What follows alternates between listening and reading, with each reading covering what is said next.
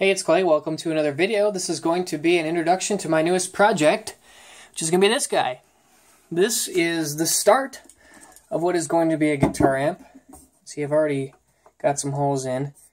But uh, this is a cake pan. Something that people who are normal bake cakes in. And uh, anyways, I found one for pretty cheap and uh, decided I want to turn it into a guitar amp chassis. So that's what I've done. I have a couple of transformers here. Uh, this one I got off of eBay. It's kind of a mysterious, all it really says is 110 volt, 12 watt. Um, so I guess we'll see.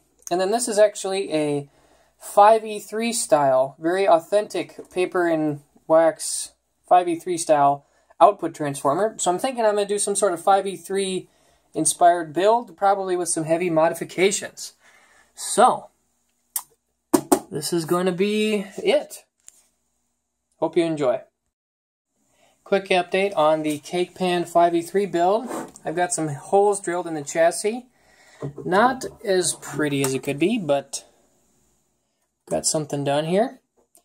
Um, yeah, I just used a drill to drill the holes, and I also have a bit, this guy right here, for uh, getting the right, a step bit for getting the right sized holes, and then I use my Dremel to uh, deburr all the little holes, so we should be good to go. I'm going to have my transformers like that. All these wires are going to go into that little hole there. Um, yeah, we're going to should be good to go guessing probably have the input over here, some controls here on the front, pilot light on the back. We'll have a speaker, might be upside down, wrecked. And then uh, fuse and a power switch. So keep going from here. Okay, another update in my 5e3 build. You can see I've got some components assembled onto my circuit board. Uh, just a couple of quick thoughts and tips. Little tiny details when putting this on. Uh, these eyelet boards are pretty easy to work with, um, but just be a little bit careful when you're bending component leads and try to do your best to kind of measure out the lengths once and then get the components in leads in there just right. Um, that can be really helpful. One thing I also like to do is put it everything in first, and you see how I haven't soldered anything in yet? It gives you a chance to review it, and if you make any mistakes, which you possibly will if it's your first time, then it's a nice uh, kind of fail-safe. You don't have to unsolder anything. Next thing I would recommend is to try to be consistent with the, the directionality of your resistors, if that makes any sense. So for example, you can see in here, uh, those these are these are 68 k resistors. So I have 6, 8, and then the, the orange gives you the decimal place. Um, I try to keep that consistent, all the, so I go top to bottom. It doesn't really matter what you want to do, just try to be consistent. Um, another little detail is to have the capacitors rotated so you can easily see what the value is. Um, then you don't have to be kind of wondering or anything like that. And then also to have with these guys that they're all on the same side, just to try to be consistent. But uh, yeah, this is basically just about following your diagram. I'm using the diagram from Rob Robinette's website. It's been very helpful. And uh, yeah, overall really great. Mojotone's kits makes it really easy.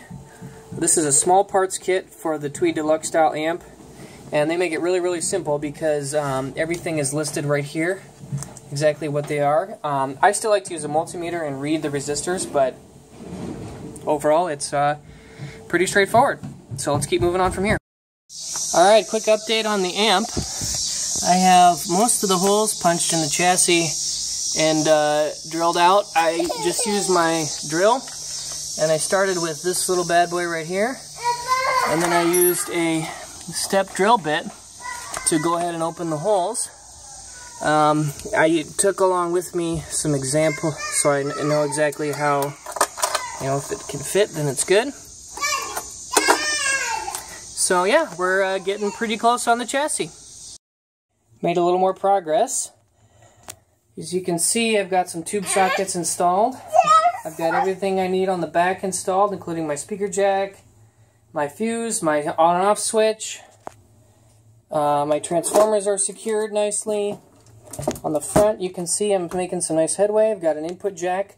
Went to the hardware store and uh, picked up some non-conductive washing, or I guess washers. So then uh, I can actually ground my preamp not at the jack, but at a more secure location with a screw and a bolt.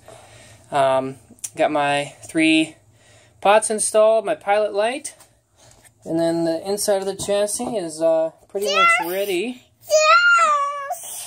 for this bad boy. And uh, we'll just keep moving forward.